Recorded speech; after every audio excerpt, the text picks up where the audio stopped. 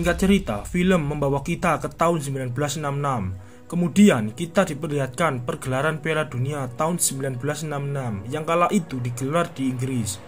Brazil tampil dengan sangat optimis, tak terkecuali Pele.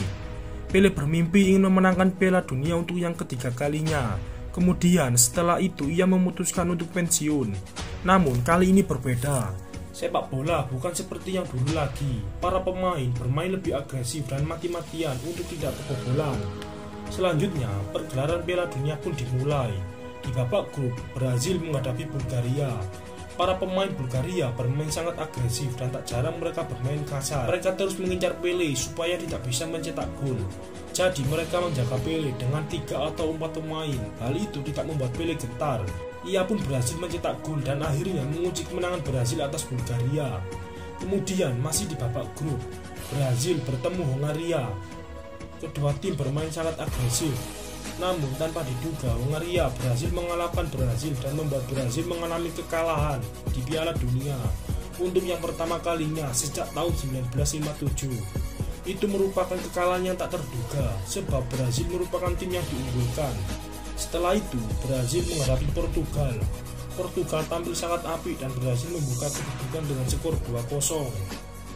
Brazil sang juara dunia kini dalam masalah besar Tambah lagi kinerja wasit yang menurut mereka kurang profesional sehingga banyak pemain Brazil yang mengalami cedera dan Pele merupakan salah satu korbannya.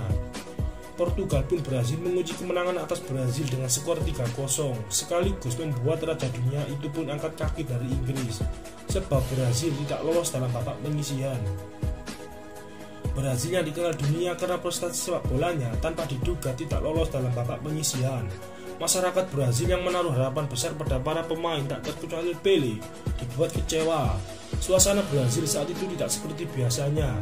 Pele yang saat itu berjanji untuk memenangkan Piala Dunia ketiga bagi Brazil dibuat kecewa, ditambah lagi tekanan dari berbagai sumber serta masalah keluarga yang belum sepenuhnya membaik.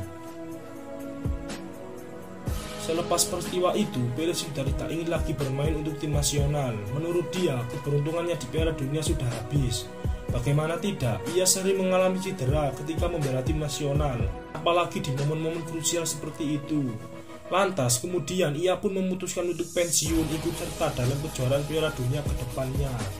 Kabar pensiunnya Pele membuat Brazil terguncang, terutama teman-teman setimnya dan juga para fans yang ingin melihat Pele bermain lagi di kancah internasional. Menurut para pengamat sepak bola, Pele seharusnya tidak mengungkapkan itu secepatnya. Singkat cerita, kita memasuki tahun 1968. Akibat masalah politik yang sudah lama terjadi, akhirnya pada tahun 1968, Brazil jatuh di bawah kekuasaan kediktatoran dan situasinya memburuk dengan dicetusnya Undang-Undang Kelembagaan Nomor 5. Undang-undang itu mengambil alih semua kebebasan dan hak yang ada. Siapa pun bisa ditangkap tanpa alasan yang jelas. Terjadi demo besar-besaran di setiap wilayah banyak masyarakat yang melawan balik para aparat sehingga terjadi baku hantam dan tak sedikit memakan korban jiwa. Tak sedikit pula orang-orang yang menghilang secara misterius. Ya seperti di Indonesia dulu lah pada masa PKI. Oke lanjut, dia adalah Jenderal Medici ini orangnya. Beliau adalah diktator terkejam yang pernah ada di Brazil. Si jenderal tahu bahwa sepak bola telah memikat hati seluruh masyarakat Brazil. Jadi dia menciptakan citra orang yang baik dengan sepak bola. Namun di belakang itu semua sungguh sangat amat berbeda. Demo terjadi terus-menerus setiap hari dan terus-menerus memakan korban jiwa. Apakah ini akhir dari Brazil? Tapi sayangnya tidak. Layaknya superhero, setiap negara harus memiliki sebuah sosok pahlawan dan Pele merupakan sosok itu.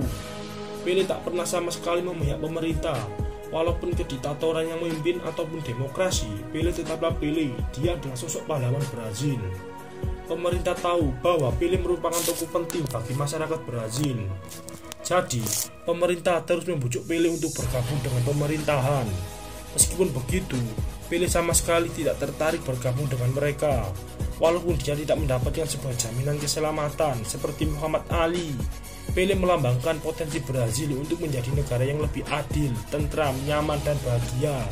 Meskipun kondisi Brazil saat ini sangat amat kacau. Singkat cerita, laga akbar antara Santos melawan Vasco yang terjadi pada tahun 1969 disambut dengan antusias masyarakat Brazil. Para masyarakat berkumpul memadati Stadion Rio de Janeiro.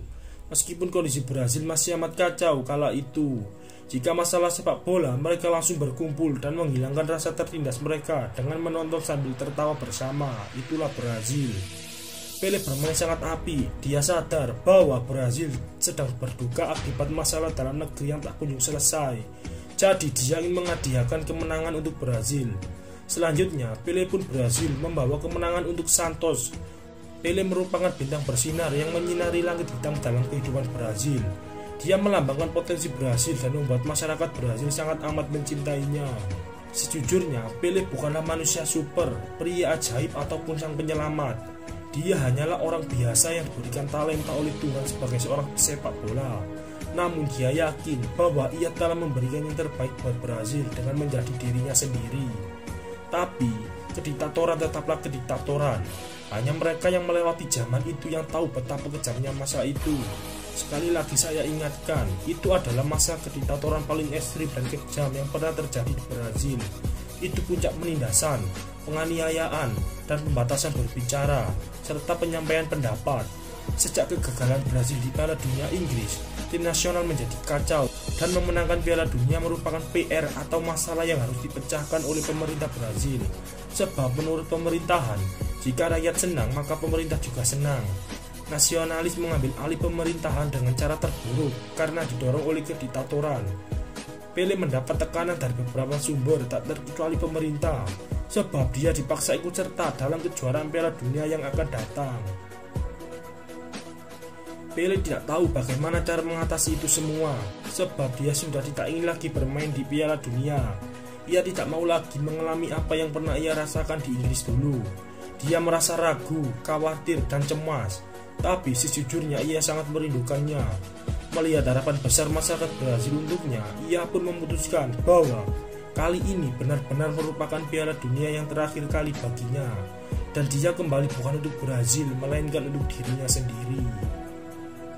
Melihat kembalinya Pele, masyarakat Brazil sangat amat senang dan antusias menyambutnya. Hal itu membuat citra pemerintah di mata masyarakat terlihat baik. Itulah tujuan pemerintah sebenarnya. Selanjutnya, kita diperlihatkan sesi latihan timnas Brazil untuk bersiap-siap berpartisipasi di kejuaraan dunia yang akan diselenggarakan di Meksiko tahun 1970. Dia adalah Saldana, ini orangnya.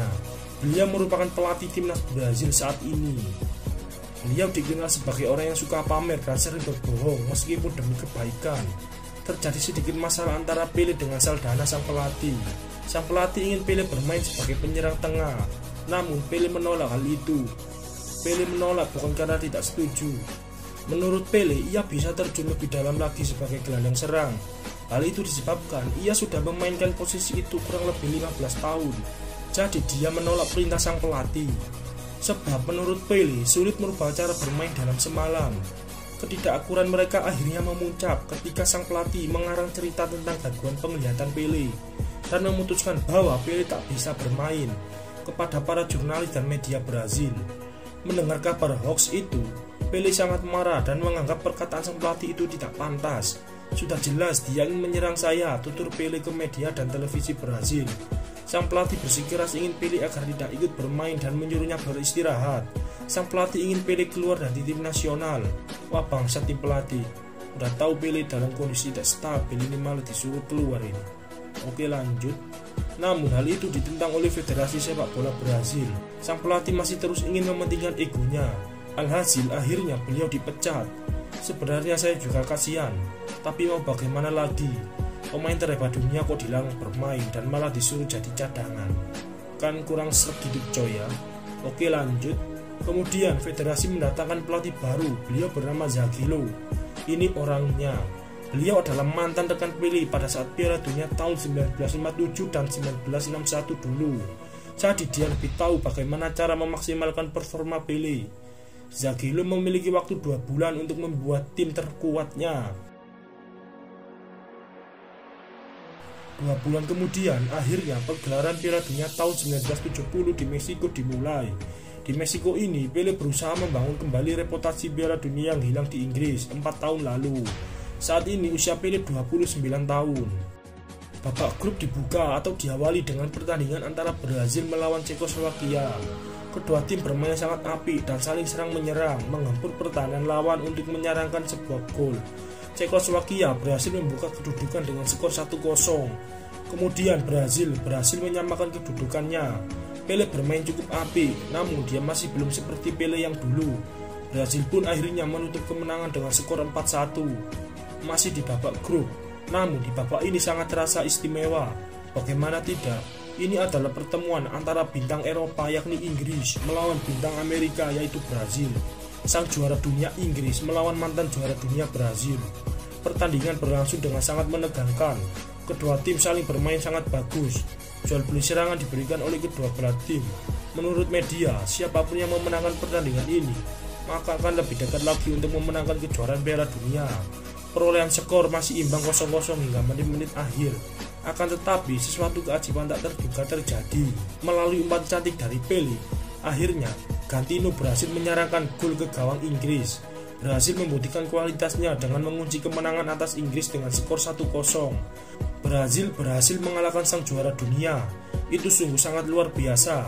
Tahun 1970 adalah anugerah buat Brazil dan juga teruntuk buat Pele Menurut Pele, kondisi mentalnya sudah cukup membaik.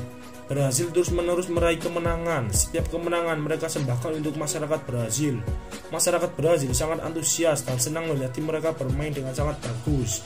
Namun di sisi lain, para masyarakat membayangkan apabila Brazil sampai memenangkan Piala Dunia, itu akan menjunjung reputasi kediktatoran atau komunis dan mereka tak menginginkan hal itu.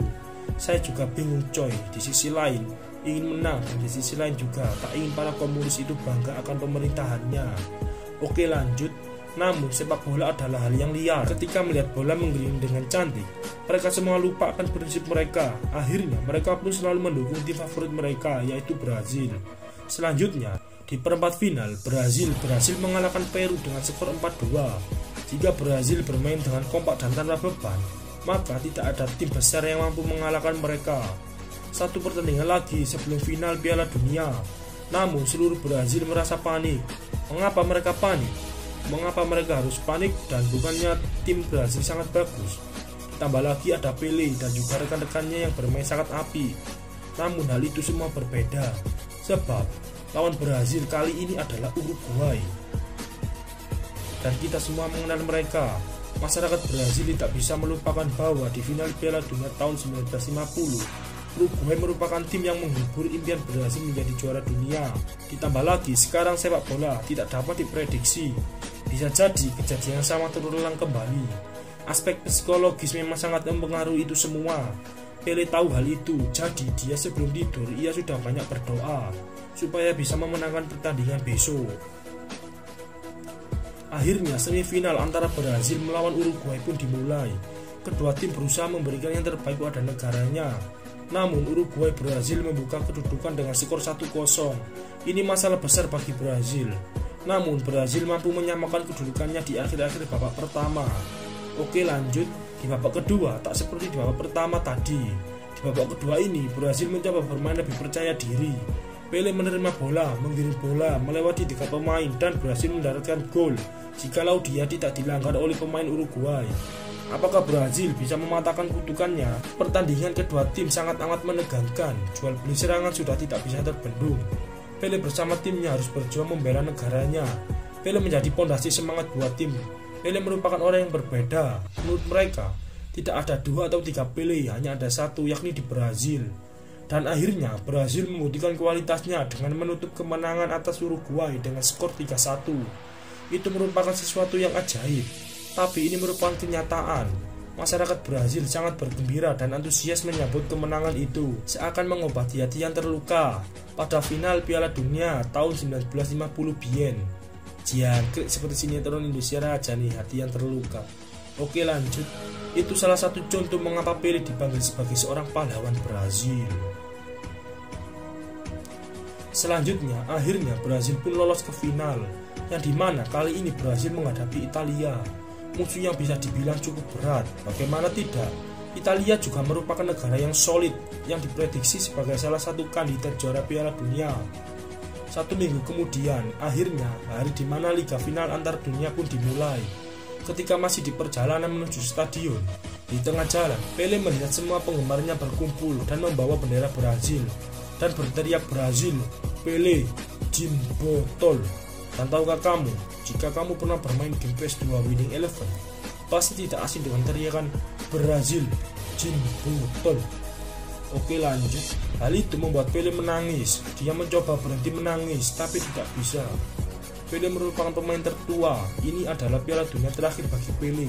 Pele selalu berdoa pada Tuhan untuk memenangkan Piala Dunia terakhir ini.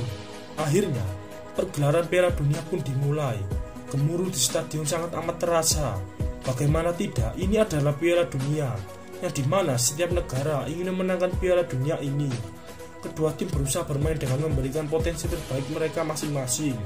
Mereka hanya bisa membayangkan harapan besar tentang hasil pertandingan ini. Babak pertama pun akhirnya dimulai. Jual beli serangan antara kedua tim sangat sengit. Akhirnya Pele berhasil membuka kedudukan untuk Brazil dengan skor 1-0. Suara gemuruh para fans mengembang ke seluruh dunia. Kemenangan Brazil sudah di depan mata. Masyarakat Brazil dibuat sangat tegang di pertandingan kala itu. Namun ada gosip miring tentang Piala Dunia kali ini, yang di mana setiap tim yang mencetak gol di awal pasti akan mengalami kekalahan. Brazil tidak percaya akan hal itu sama seperti saya. Saya tidak percaya dengan rumor atau gosip yang belum teruji kebenarannya di ITB. Kita hanya perlu berusaha keras dan membuktikan hasilnya pada mereka. Bahwa rumor akan kalah dengan usaha keras dan sebuah impian. Wow, itulah quote saya yang saya berikan kepada Anda. Biar Anda lebih percaya diri sama seperti saya. Oke lanjut. Namun ternyata rumor itu benar. Bangsat ini. Tanpa diduga, pertahanan Brazil tiba-tiba melakukan feeder atau kesalahan yang di mana membuat Italia berhasil menyamakan kedudukan menjadi satu sama. Anjing bener nih film, seakan merendahkan kuat saya yang sangat indah barusan. Awas dulu, lihat dulu Mama Pele. Pele meyakinkan dan menyemangati timnya dan berhasil membuat tim percaya bahwa mereka bisa menjadi hebat seperti dia. Pertandingan masih berlanjut, kedua tim bermain sangat api, jual beli serangan terus terjadi. Akhirnya Brazil berhasil mencetak gol dan mematahkan rumor atau kutukan itu dan menutup kemenangan dengan skor 4-1. Masyarakat Brazil sangat amat bergembira melihat kemenangan ketiga kali buat mereka. Terlebih lagi yang menonton di dalam stadion. Para fans terharu serta banyak yang menangis melihat perjuangan tim terhebat mereka. Ini adalah kemenangan buat Brazil. Seluruh stadion tak terkecuali Italia menghormati kemenangan buat Brazil. Pele adalah segalanya. Menurut Pele, kemenangan ini bukan cuma tentang piala, tapi tentang rasa lega. Piala Dunia tahun 1970 adalah hal terbaik dalam hidup Pele. Karena jika Brazil kalah pada tahun itu, maka semuanya akan menjadi lebih buruk.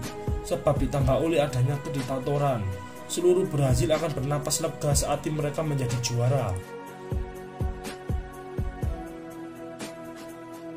Sesampainya di Brazil, mereka disambut oleh antusias para masyarakat yang menganggap mereka adalah pahlawan. Mereka seolah-olah berperang dengan bendera Brazil di tangan mereka, dan film pun selesai.